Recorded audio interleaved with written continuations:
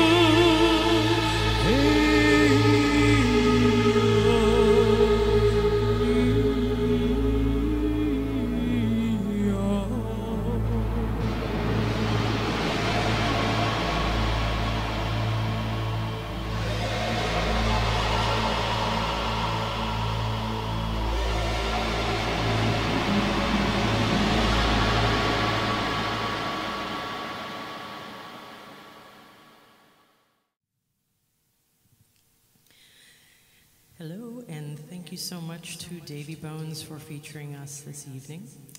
We are the Palace of Tears from New Orleans. I am Leah, and this is Erick. And we are playing from our studio, Le Chateau of the Crying Mist.